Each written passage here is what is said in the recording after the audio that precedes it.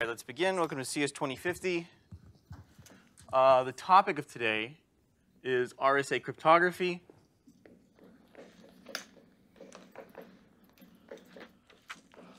So, um, the number theory, this is the final lecture on the number theory unit. Number theory, again, a beautiful science. Um, Warren Hardy, this uh, British guy, he loved number theory during World War I because it was totally unapplied.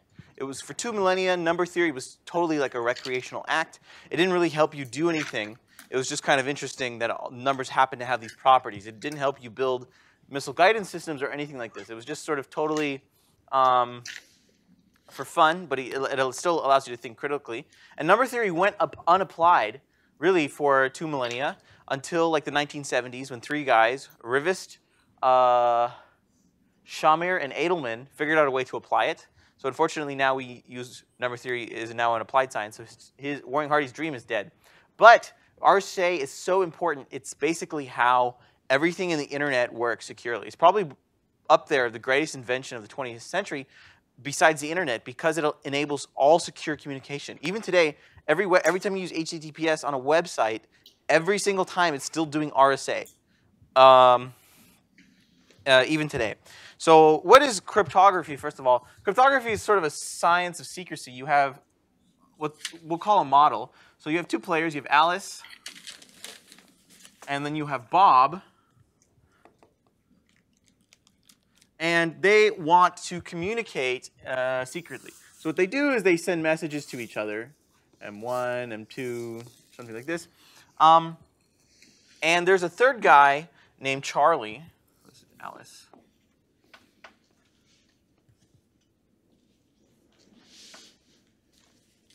Charlie is a bad guy. He's some sort of bad actor. Uh, and Charlie has uh, a, a, an eavesdropping power, which is he can listen to all the messages that Alan, Alice and Bob send to each other. This models many different uh, schemes. For example, um, Alice, I mean, excuse me, Charlie could literally be the government opening up paper envelopes and reading them and then gluing them back together. Uh, sometimes uh, uh, Charlie could be like an intermediary mail server node that hops a message across, and then from there a message is copied and read.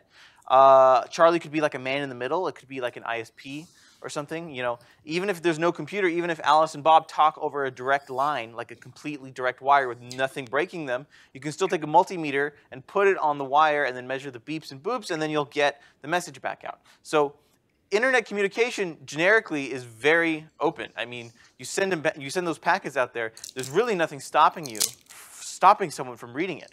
So uh, Alice and Bob need the ability to communicate privately.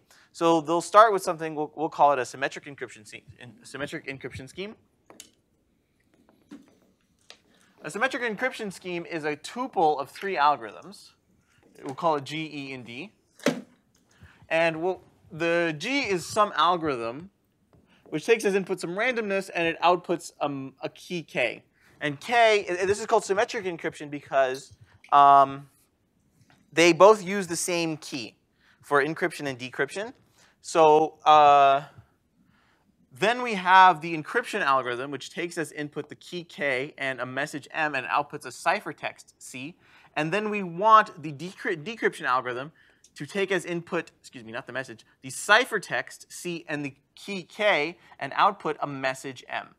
So the way this is going to work is Alice and Bob are going to be here again. They have some pre-shared secret key K. They both know it's secret uh, only to them. And they're going to encrypt messages and send them to each other. So for example, Alice is going to encrypt uh, some message M. And then Bob, having the secret key K, is going to be able to decrypt the message.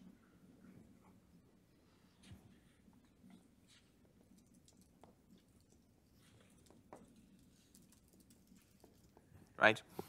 Um, they can do this back and forth with the same shared secret key. And Charlie is going to, unfortunately, not be able to read the messages themselves. He's going to be reading the encryptions of the messages. An encryption scheme, generically, is supposed to be kind of like a cipher. It's going to be like something that makes it look random.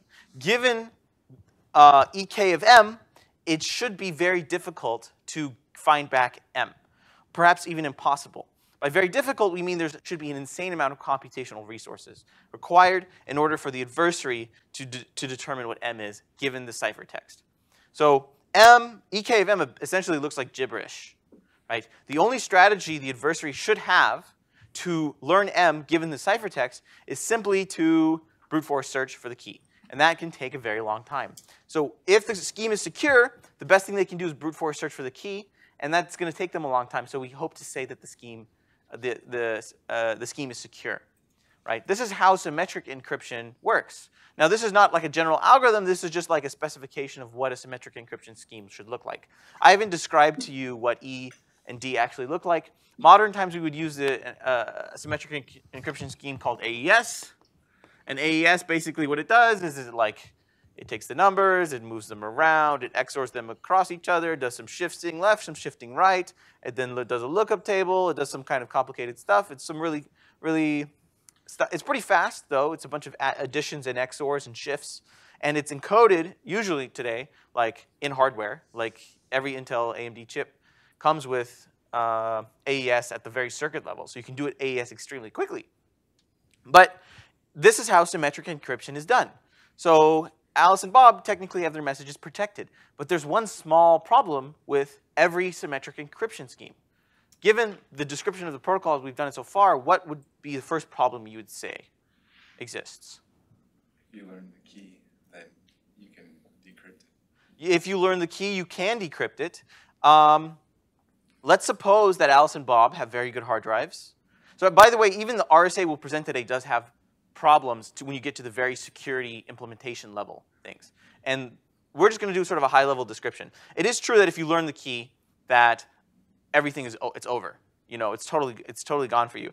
Um, there's a like a mission in Battlefield One where you have to like um, you like hijack a train or something, and then you have to steal the code book, right? And then because you stole the code book, you know all past and future messages encryption and decrypted. So if the adversary somehow learns the key K, it's over. Just assume it's over. There's nothing really to prevent that, right? So yes, the key is sort of a, a gem. If you, if you steal the key, it's, it's the, the, the game is, is, is lost. But there's another problem, and it doesn't revolve around the key.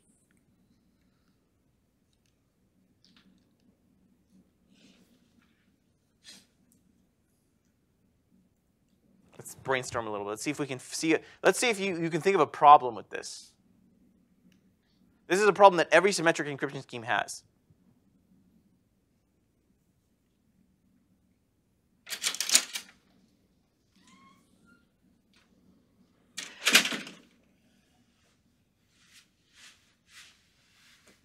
Send the wrong message. I don't know. There's, those are all, that would also be an issue. But I guess, I suppose the answer I'm looking for is, nobody asked how did they get the key K? Both Alice and Bob have to know the same value, and let's say k is like a 1,000 bits or something, whatever.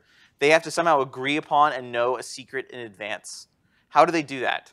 Well, the first thing they can't do is they cannot send the key to each other, right?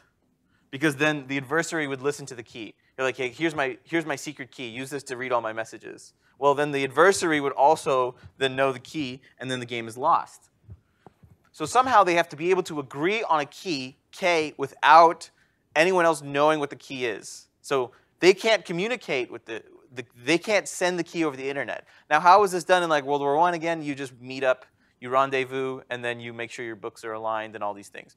So that's kind of difficult. We don't want to do that on the internet. We don't want, if you want to connect securely to Amazon.com, you shouldn't have to go there in person and agree on a secret key, and then you can go shop uh, securely. Um, here, Alice and Bob, we presented as two people, but you can also think of this as any client-server thing. You know, uh, you want to send your credit card information securely to Amazon in the way that whoever's operating the Wi-Fi network doesn't get to read your credit card info, right? So the secret channel is, is a very important thing. How do you set up this key K? This key K is a problem for every symmetric encryption scheme. Um, basically, RSA is the first ever, and perhaps maybe the only, really, uh, asymmetric encryption scheme because it's, it's, still common, it's very used. An asymmetric encryption scheme, in some sense, solves this problem.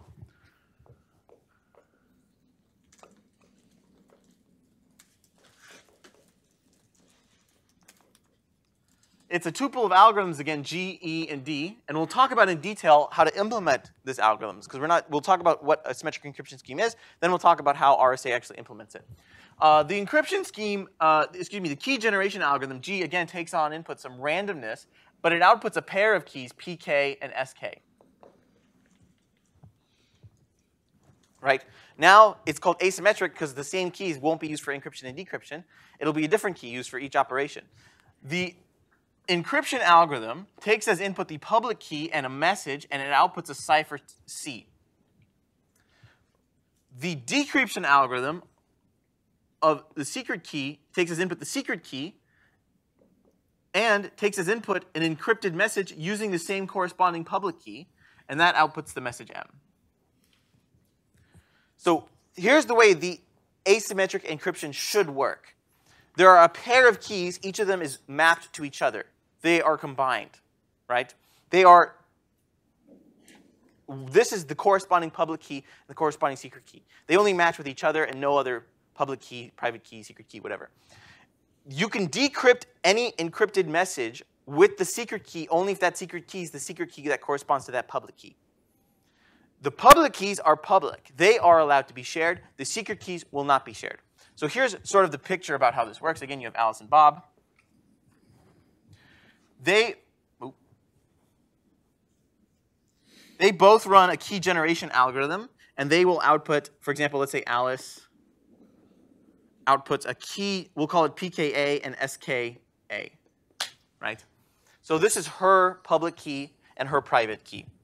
Bob also outputs, he runs the key generation algorithm, he outputs a public key B and a secret key B. Now the, the public keys should be shared. So what they can do is they can both exchange public keys with each other.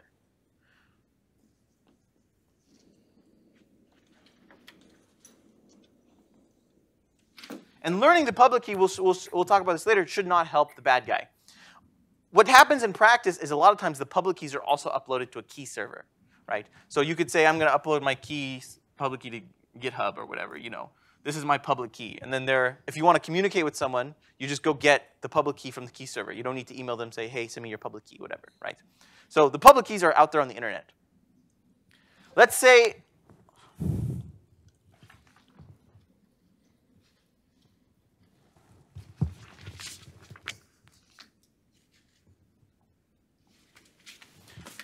Let's say Bob wants to send a message to Alice. What he's going to do is use uh, he's going to have some message M, and he's going to encrypt it with her public key. Okay?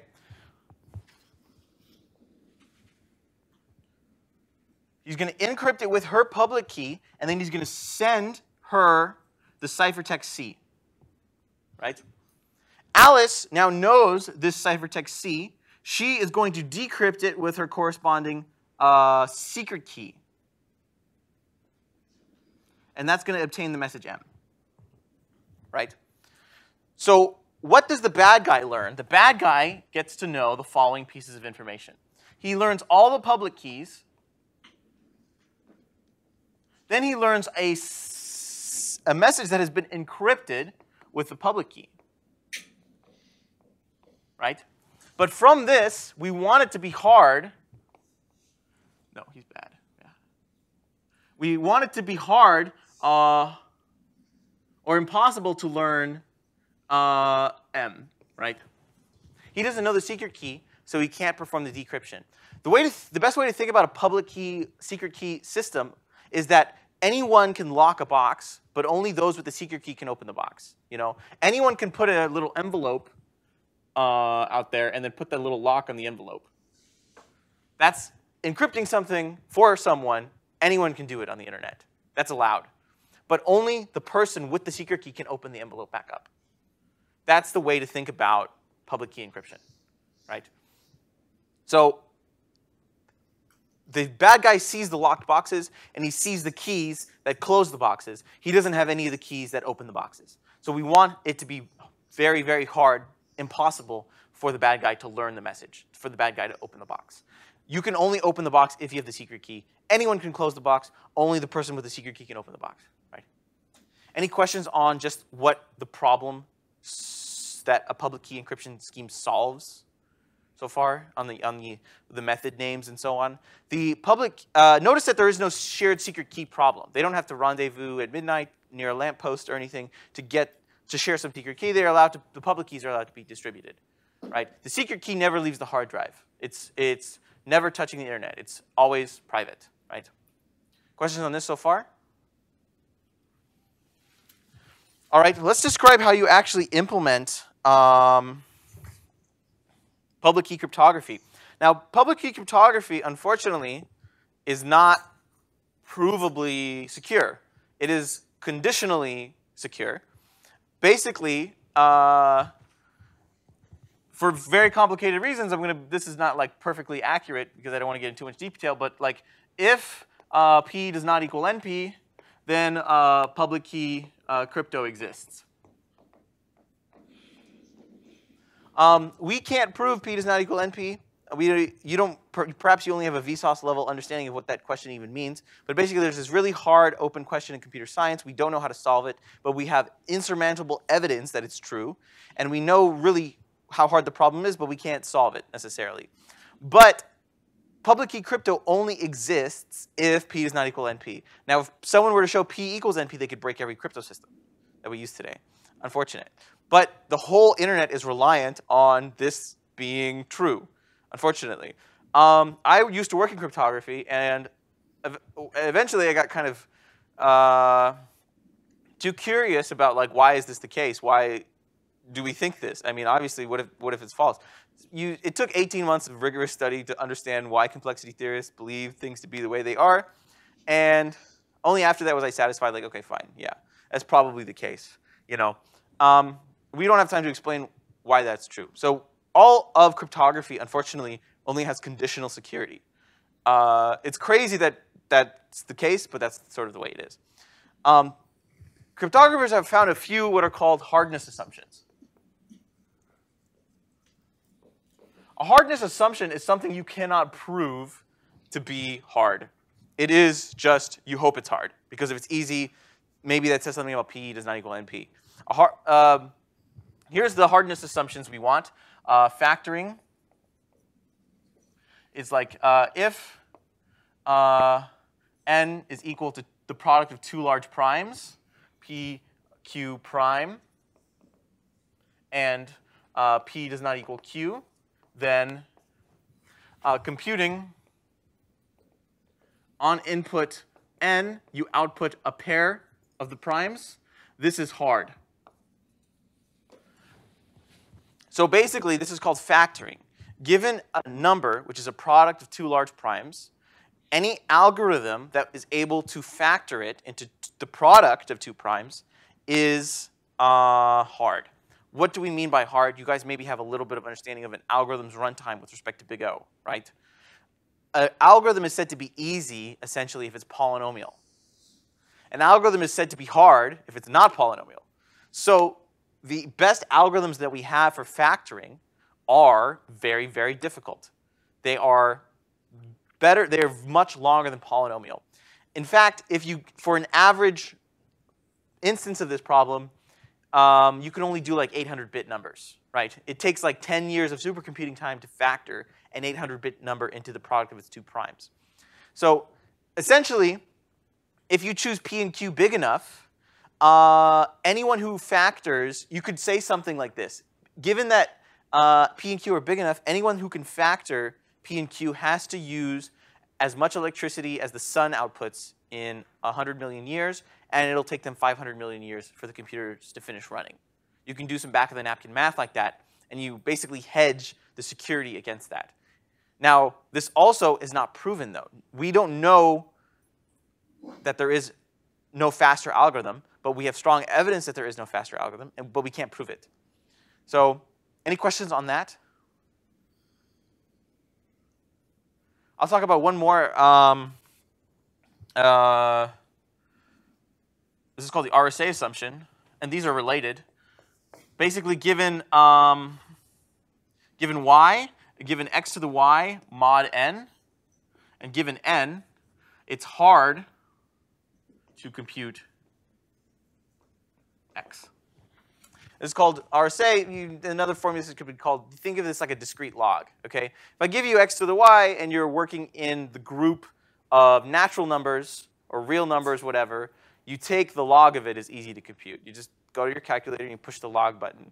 It's simple. But unfortunately, when you're working mod n, it's not so simple. Because when you mod n, this essentially acts like a randomization. x to the y, if y is really big, basically could be any of the elements between 0 and n minus 1, right? It's just, it could be any of them. It looks random in some sense. So how do you unrandomize it? Uh, you can't really do it. So this is another hardness assumption, right? There are such hardness assumptions, and the two are related. There are such hardness assumptions that are really hard that we don't have evidence that they're easy. We have a lot of evidence that they're hard. We cannot prove it, you know.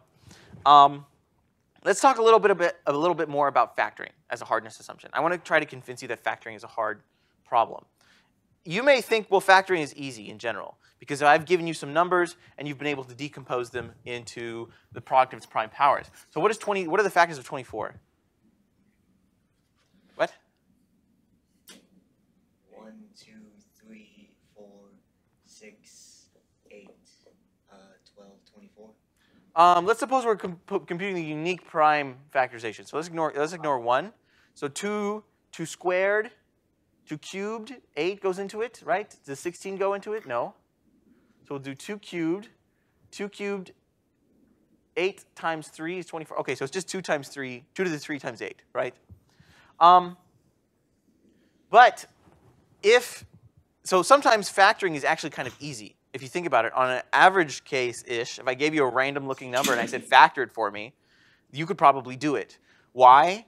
Well, there's a half chance that that random number has 2 as a factor, right? It's easy to factor an even number. Just it's divide by 2 and you factor it. You found a factor of it, right? So we choose not just like a general factoring to be hard, because it's not, but we choose this specific subproblem of factoring, which is that n is the product of two large primes, right? Here's the reason we do this. You recall we did this proof for, um, in, in, the proof section on the contrapositive, we proved that if, uh, uh, if uh, n is equal to ab, then uh, what is the size of its smaller factor? Do you, does anyone remember this? Uh, this is a trivia question. It's not super serious.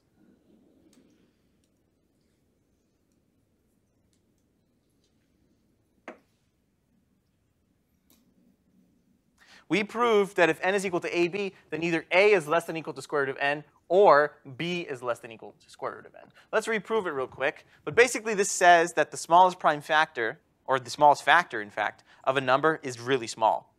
So you want the smallest factor to be not so small. That's sort of what, what happens here. Um, let's prove this in the contrapositive. If uh, a is greater than square root of n, b is greater than square root of n, then n does not equal ab. Right? That's contrapositive of the statement. Uh, let's prove it. Uh, if a is greater than square root of n, b is greater than square root of n, then a times b is greater than square root of n times b, which is greater than square root of n times square root of n, which is equal to n. So ab is greater than n, so ab does not equal n. Right? One of its factors must be less than or equal to the square root of the number, right? Now, consider instead of n equals ab, suppose we did n equals abc. n equals abcd, whatever. If it has 10 factors, the smallest one is going to be equal to like n to the 1 over 10. It's going to be real small, right? So you want it to be the product of only two prime numbers, and those prime numbers to be really, really big close to each other and perhaps not too close. For example, if one of the prime numbers was 3 and the other one was 18 billion 101, something like this, that is actually easy to factor because you know one of them is less than or equal to uh, the square root of n. One of them is in fact really, really small. It's just 3, right? So you can quickly check that it's 3. You can't quickly check that the, the prime factorization is easy when it's, when it's like that, right? Factorization being hard is actually a really interesting problem because all the other algorithms involving prime numbers seem to be really easy. GCD, extremely efficient. Um, primality testing, given a, given a number, is it prime or not? Efficient. Um, all the other problems, div integer division, efficient. Uh, all these problems appear to be easy except factoring. Multiplication, in fact, is easy, right? That's sort of the reason we use this as a hardness assumption is because uh, computing given n, computing PQ is hard, but going the other way is easy, actually. Given PQ, computing n is really, really easy. How do you do it? Just multiply the two numbers together, right? So we're going to give this, set this up in such a way so, so that the good guys only have to do the easy work, and then the bad guy has to do the hard work. That's the reason cryptography is it works. It's sort of one-way hardness in some sense, right? Any questions on this so far? Factorization? Right.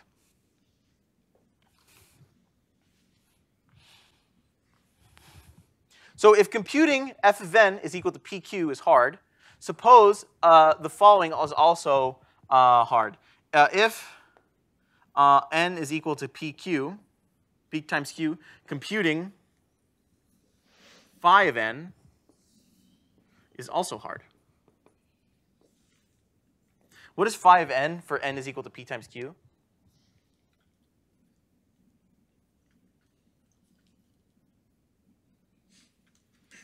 Um, p minus 1 times q minus 1.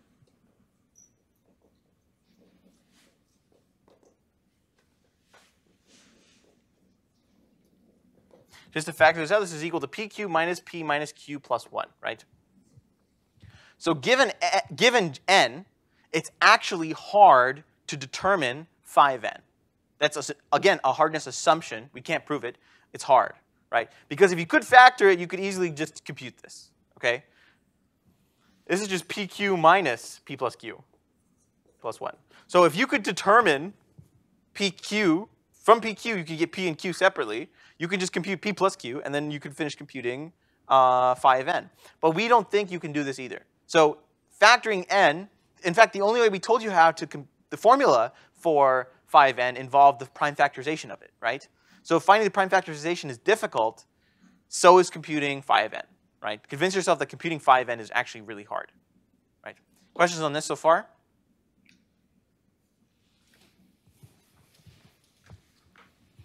All right, let's get into the RSA uh, scheme.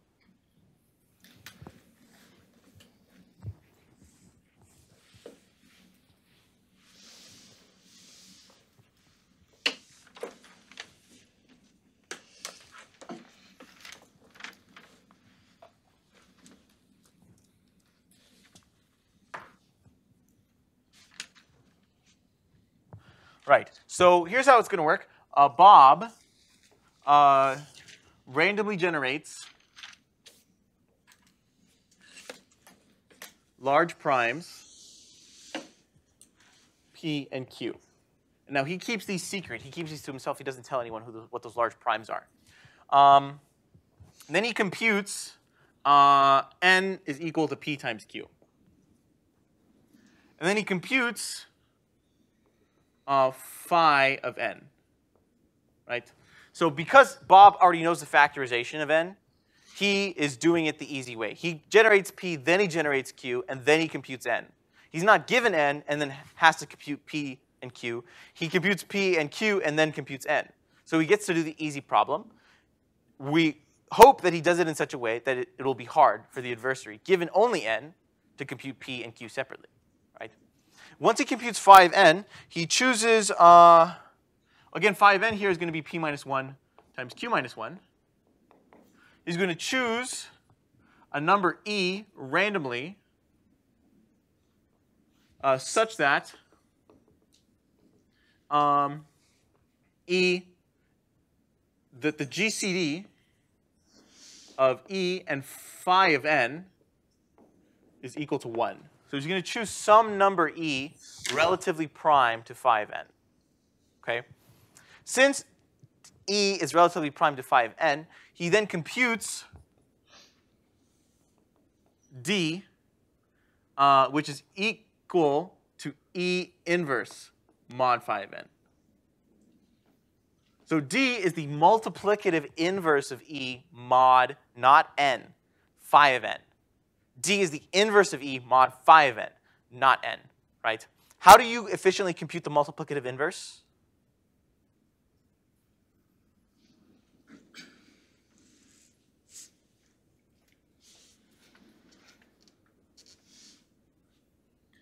Anyone remember the algorithm name?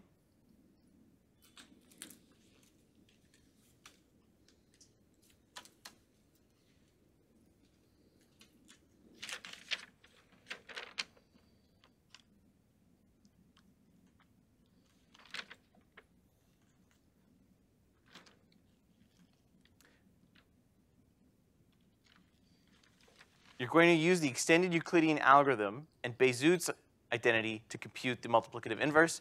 If e and phi n are congruent to 1, then you know that there exists, here's a little digression, there exists s and t such that uh, es plus phi n t is equal to 1, right?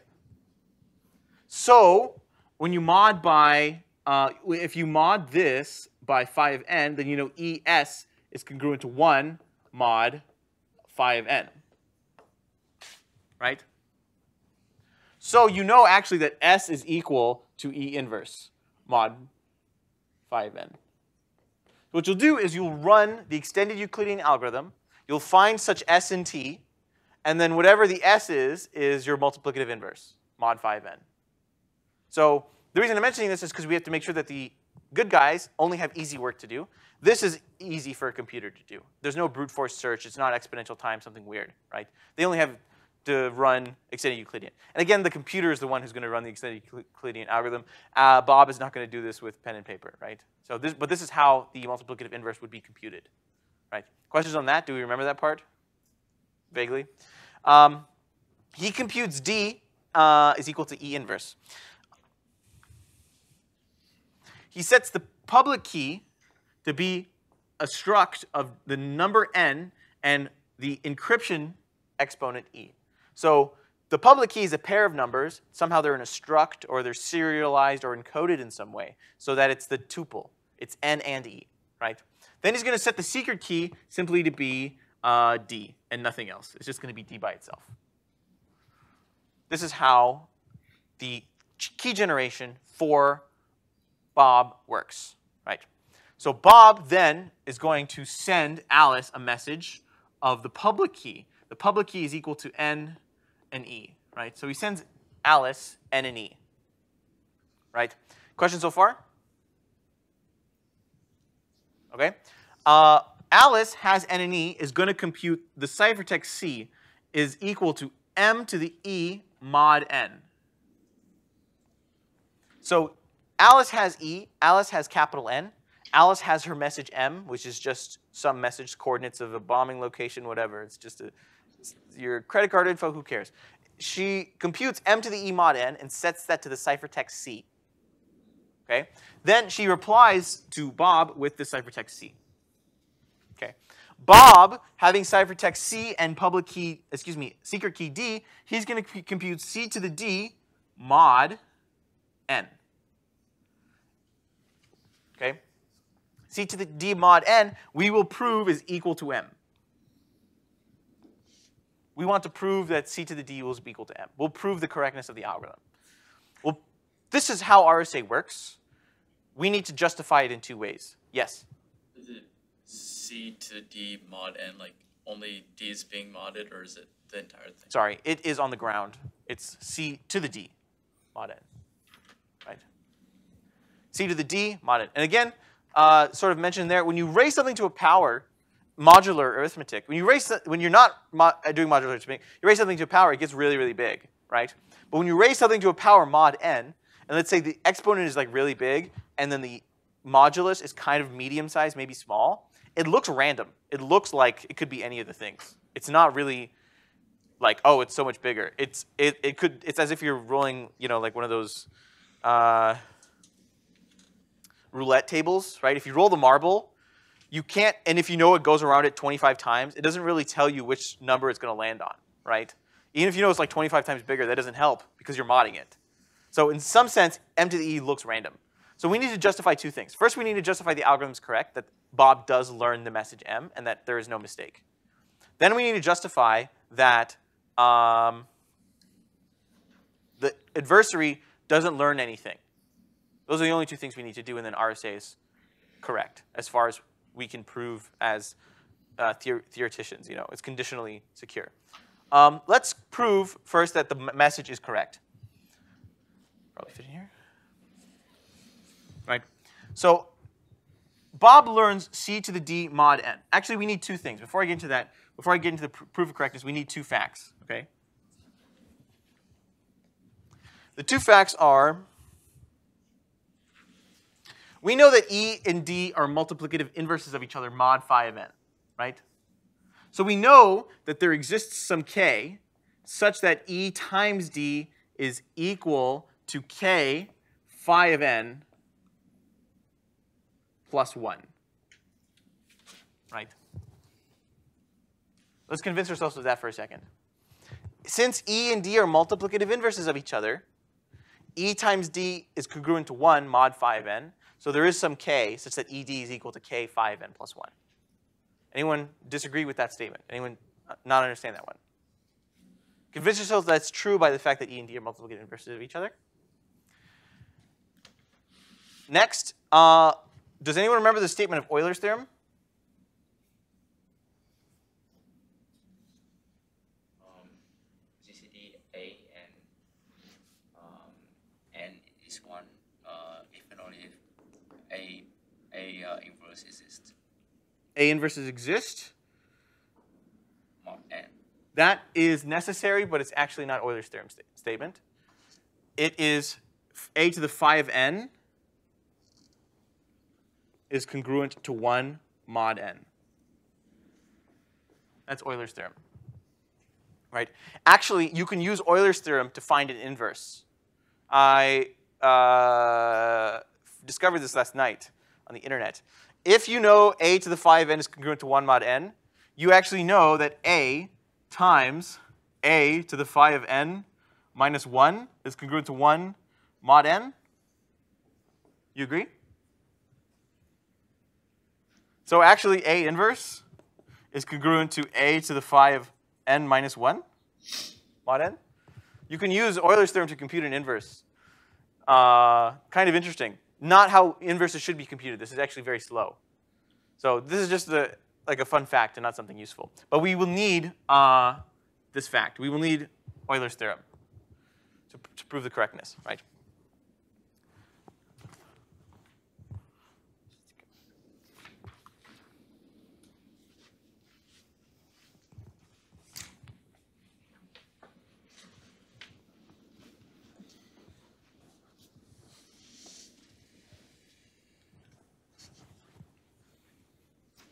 So we want to prove that c to the d mod n is equal to m. So we know that we start with c. Bob computes c to the d mod n.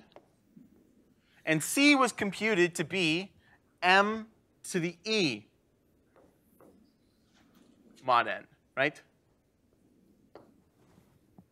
But by simple math, we know that this is just m to the ed mod n, right?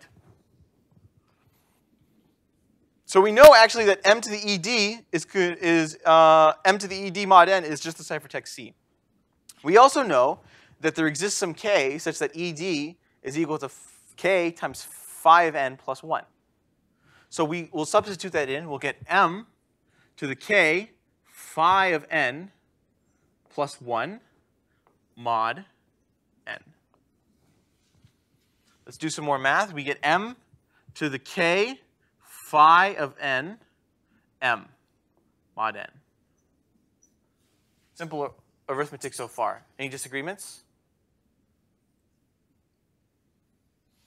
Um, let's let's rewrite m to the k phi of n as m to the phi of n to the k m mod n. What is that? That is just m to the phi of n if the GCD of m and n is equal to 1, then m to the phi of n is equal to 1. It's congruent to 1, mod n, right? by Euler's theorem. So we know that this is then just equal to 1 to the k m mod n, which is just congruent to m mod n. QED. Right? So we did prove that c to the d mod n is congruent to m mod n. There is one question you should ask about this, though. There's one step we sort of missed. There's one thing unclarified.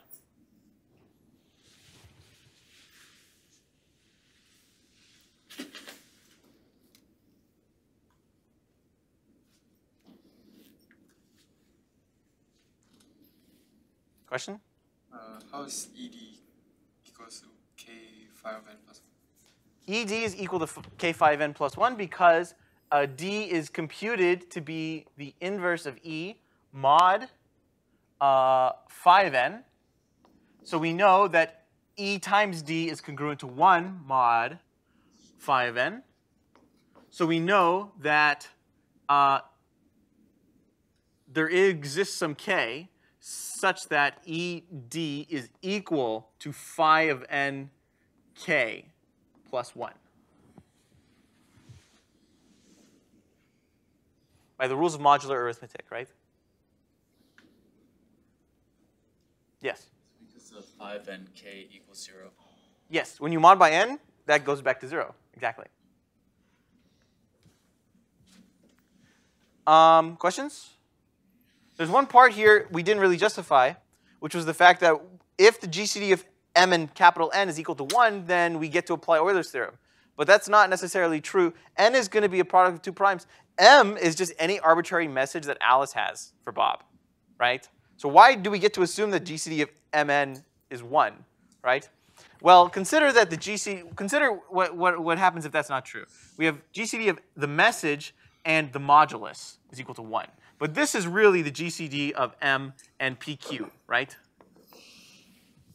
If you know the GCD of two numbers, uh, and one of the numbers is a product of two primes, what is the possible values of the uh,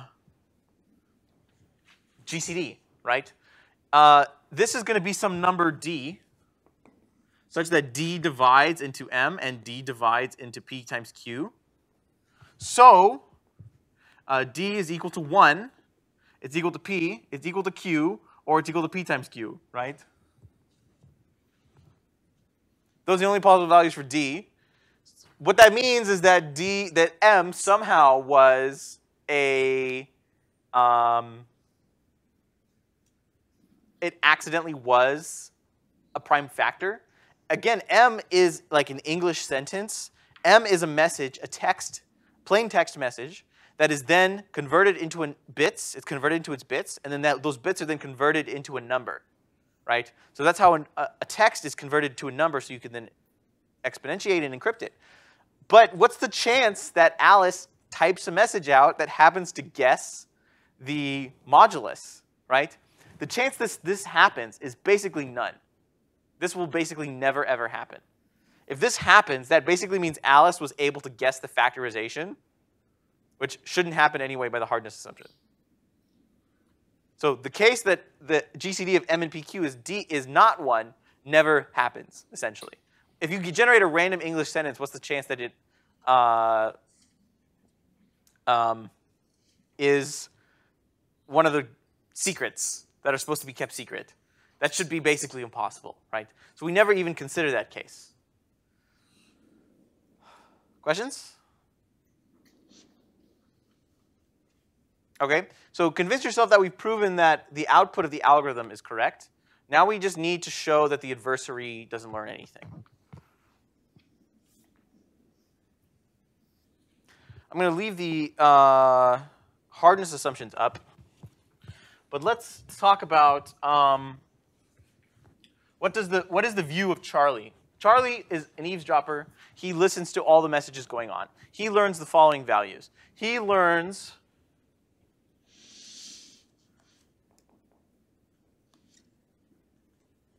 he learns the public key, which is equal to n and e. He also learns m to the e mod n, right? So what does uh, the bad guy listen to? He knows n, he knows e, and he knows m to the e oh, excuse me, m to the e mod n. And based on our hardness assumption, it's basically impossible to compute uh, compute uh, m. Given n, e, and m to the e mod n, it's, it's not impossible, but it's extremely, re- extremely hard for him, as in it'll take 500 years of your computer being on, even if you assume the CPUs double every 18 months. It's basically impossible for him to uh, uh, br- brute force this, this thing. Now, we, again, we can't prove that the hardness assumption is tr- true. We can only assume it's hard because we have a lot of evidence that it's hard.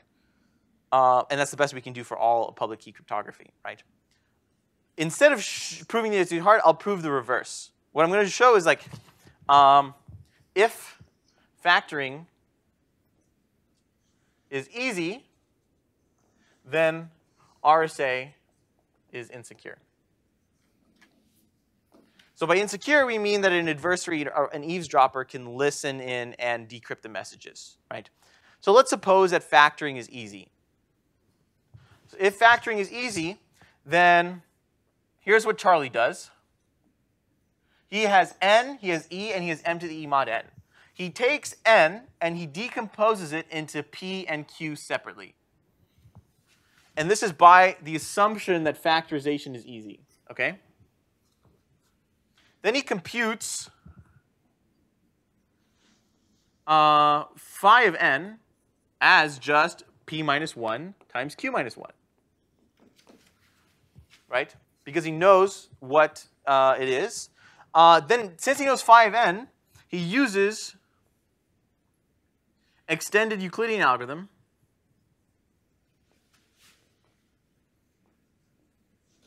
to compute a d, which is congruent to E inverse mod phi n, Right? So once you have phi n, the game is up because from there you may compute the inverse easily. Right? He knows the public key, and the public from the public key, it's hard to get the secret key unless you can factor. But if you can factor, you can get the you can get the secret key. From here, what should Bob do to learn the message?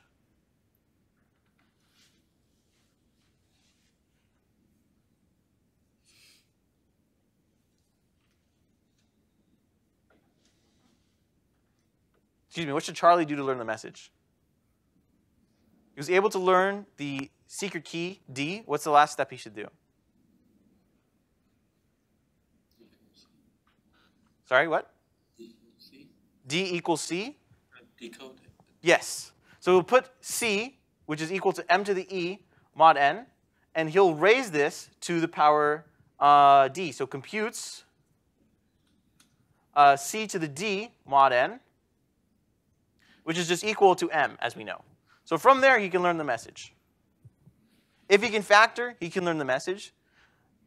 If he, we can't prove it, but if he can't factor, we hope he can't learn the message, right? RSA is conditionally secure. Okay? One last comment on um, how this works in the real world is, well, before we do that, any questions on the, on the adversaries side, why we think this is hard? Right. So in the real world, um, it's really expensive for computers to do exponentiation, right? Like symmetric encryption is really, really fast. It's just a bunch of bitwise operations. And it, computing RSA is kind of difficult because you have to do this exponentiation. And for big enough M and E and N, this is actually really expensive. It takes really a long time to do this. And every time you want to send a message, you have to do that. So what actually happens is, to speed things up, is that RSA is used to share one secret key, and that secret key is then used as a session key for symmetric encryption. So recall we did symmetric encryption.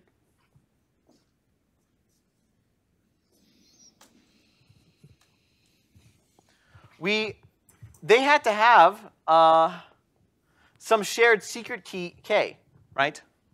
So what they do in practice is instead of resending you redoing RSA for each message, they do RSA one time to share a long secret key, and then they do AES with it uh, for the secret key.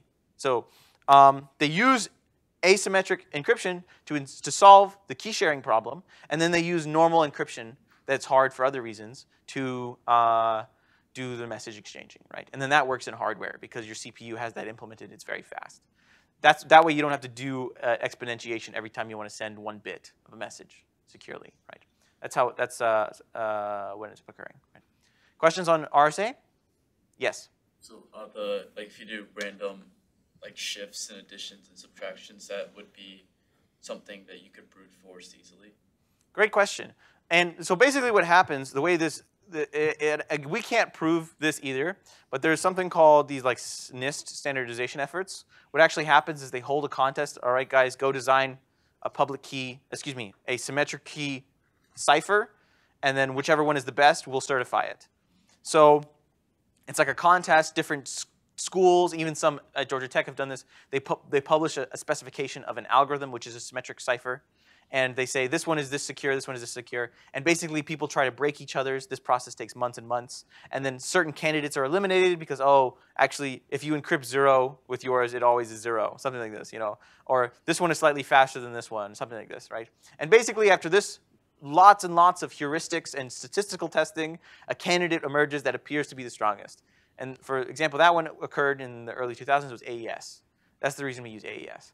Given AES, it's really difficult to go backwards. Like if I told you it was shifts and flips and inverts, you think, well, I'm just going to subtract one, and then I'm going to do the on XOR. And it, like if given a description of the algorithm, it sounds like, well, I could just try to invert it. But if I actually gave you the description of AES, I would encourage you to try to invert it, and you'll quickly get stuck on going backwards. It's really difficult to go backwards uh, for AES. We can't prove it, though. We have no way of proving that this is a hard function, but there's insurmountable evidence that it's hard. No one knows how to break it, right?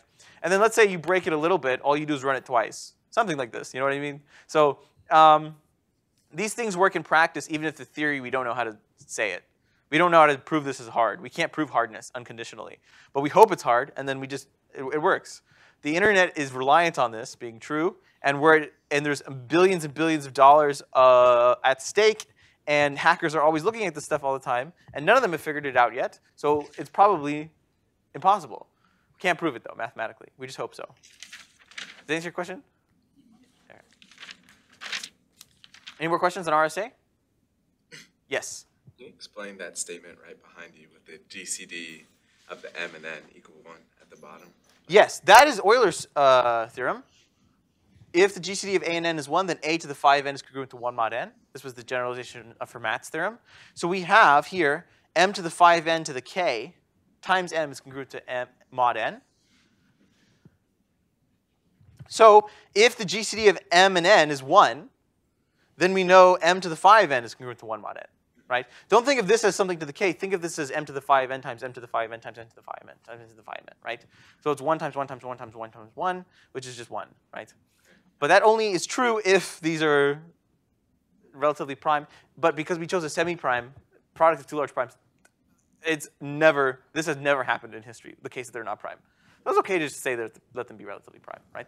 M is an English sentence, but it's also padded with some randomness to make it long enough, right? You don't want it to be, there are all other kinds of problems with vanilla RSA. Like if M is a single bit, if M is zero, you can't encrypt to zero because zero to the anything is zero, right? So uh, you pad it with some randomness, you make sure it's long enough and things like this, right? Statistical attacks. Um, if you know, for example, you're doing voting, you only know if this, uh, if you can count the number of encryptions. If it's 40% look like one type and 60% look like the other type, you can learn something about that, even if you don't know what the decryption is itself, something like this. So there's all kinds of other slight problems that take a whole computer science degree and course to understand how to fix RSA. But this is the reason, this is like all the internet is based on. In fact, if you go to a website and you click the, the key and then you click like advanced view, more settings, whatever, it'll just show you n.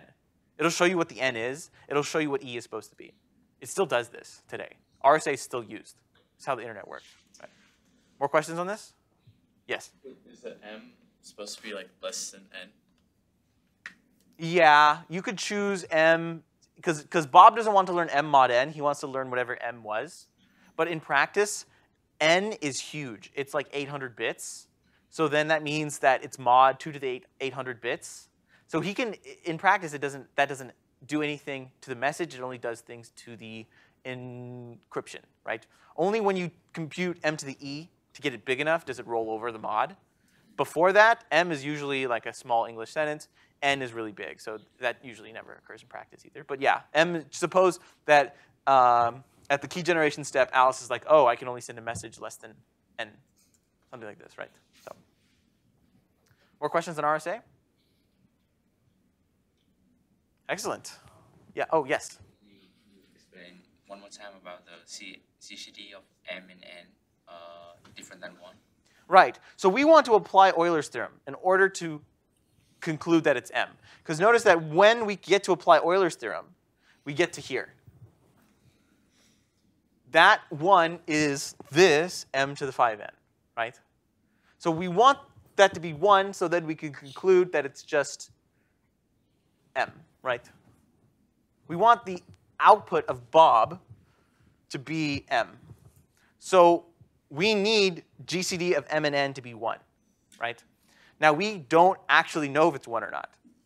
But with high probability, like as in you have a greater chance of getting hit by lightning times like a million uh, than this ever happening, right? There's always one attack that every bad guy can do, which is just to guess the key. Suppose he gets really, really lucky and he guesses the key. So it, like replace this brute force or whatever factorization with just I'm just going to guess and check for all possible values of d. There are too many. It's exponential time to do that. So we don't. So we say, okay, you can keep trying that, but you know you will die before you finish. That's sort of what the security is hedged against.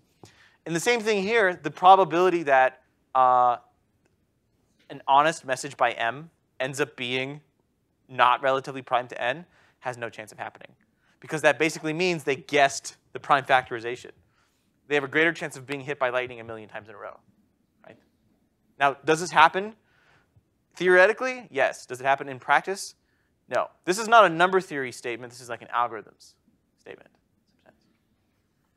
You can assume that m and n are relatively prime.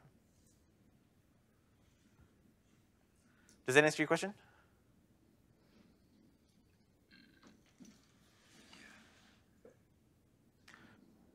More questions? Excellent.